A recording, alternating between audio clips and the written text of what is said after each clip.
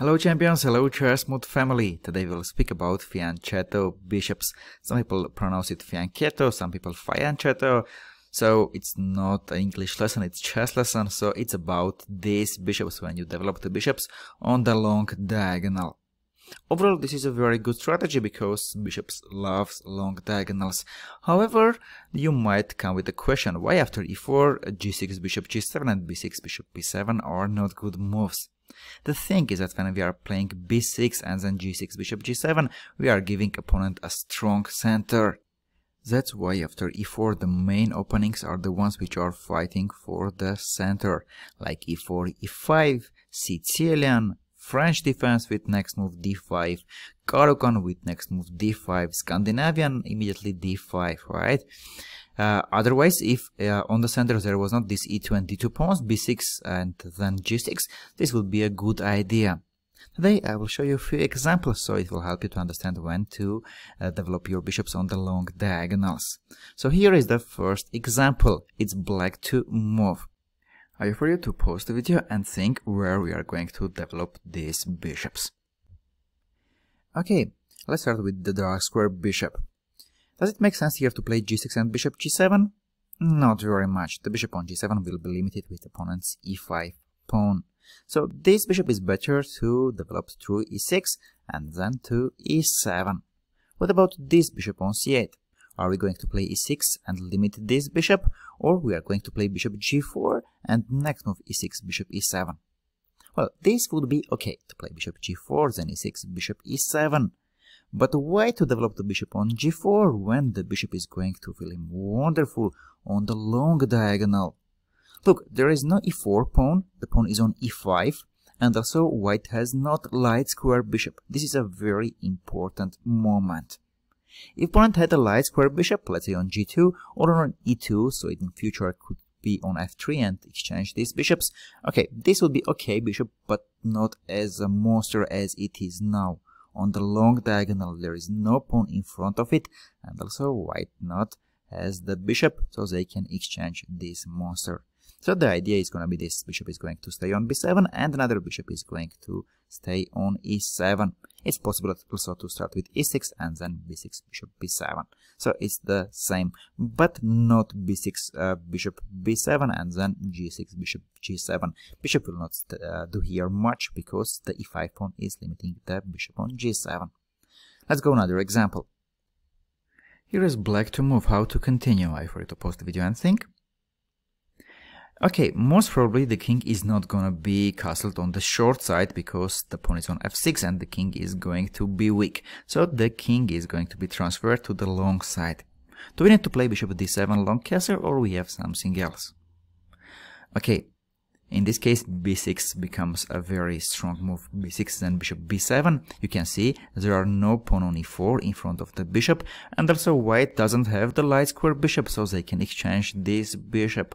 Also, next after a long castle and rook g8 move, together these three pieces are going to put huge pressure on opponent g2 and f3.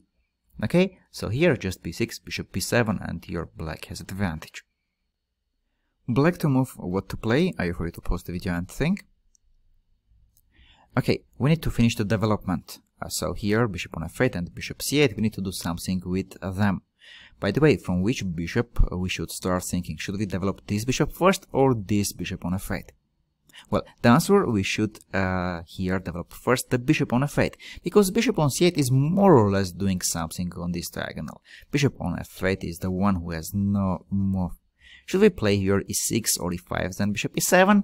We could, but here opponent's uh, long diagonal a1 h8 is very weak, there is no d4 pawn, and also white doesn't have the dark square bishop. So here g6 becomes the best move. g6, then bishop g7, bishop goes to the long diagonal. Later we will figure out what to do with this bishop. It can stay on f5, but we will see it later. First we do g6, bishop g7, taking the bishop to the best square for it. I will show you a part from the game Jobava Duda. Jobava plays b3, his favorite move. He wants to play bishop b2. And here Duda played g6, bishop b2, knight f6. Also interesting setup. Next move, black wants to play bishop g7 and uh, the uh, strong bishop on b2 will have a competitor on the long diagonal. Jobava takes here bishop f6 ef6 and plays c4. He uh, gives up this bishop but ruins black's pawn structure. Next he wants to play knight c3 and control the d5 square. But because here black has bishop pair advantage, black wants to uh, open the position and d5. Cd5, queen d5, knight c3, queen a5, a3, white wants to play b4 and get something on the queen side, c5, not allowing white to play b4, g3. How to continue, how to finish the development of these uh, bishops. I free to pause the video and think.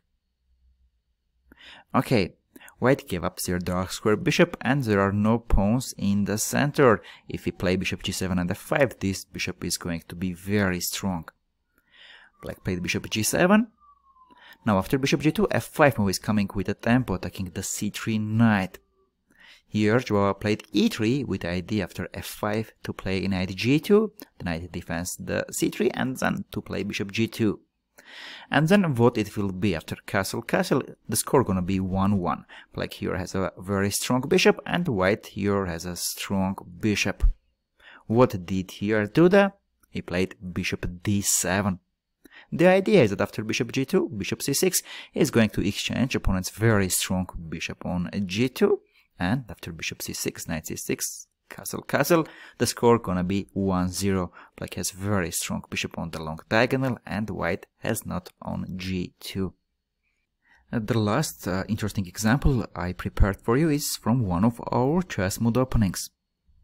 After e4, c5, knight c3 on the Sicilian, with knight c3 our favorite variation, e6, f4, d5, and knight f3, d4, knight e4, there is knight f6 move. And against it we take knight f6, queen f6, and here, when black doesn't have d5 pawn, we develop the bishop on f1 on the long diagonal playing g3, bishop g2.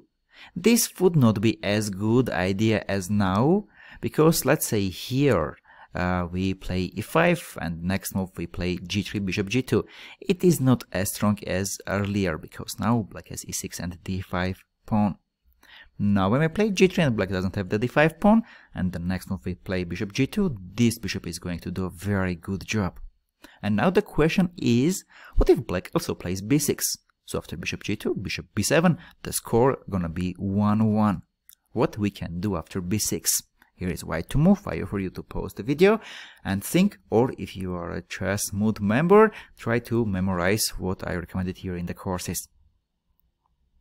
Well, here white has a very strong move knight e5. Now they are threatening to play bishop g2, after which the a8 rook will be lost. And if bishop b7, there is a very unpleasant bishop b5 track.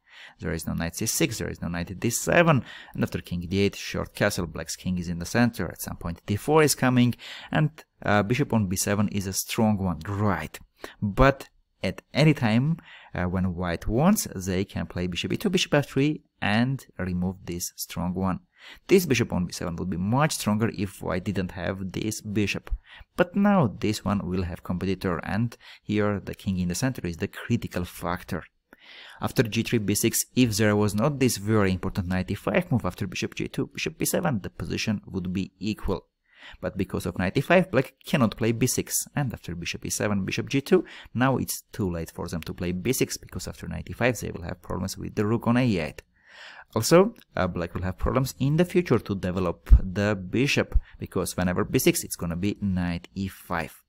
And here after g3, bishop g2, the bishop stays on the long diagonal, and because of this, white is going to pressure.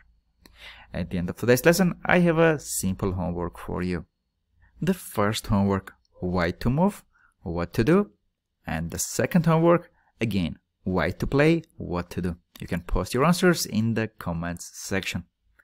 Thank you very much for all your support, for subscribing to our channel, liking the videos and sharing them with your friends. Thank you very much. See you very soon.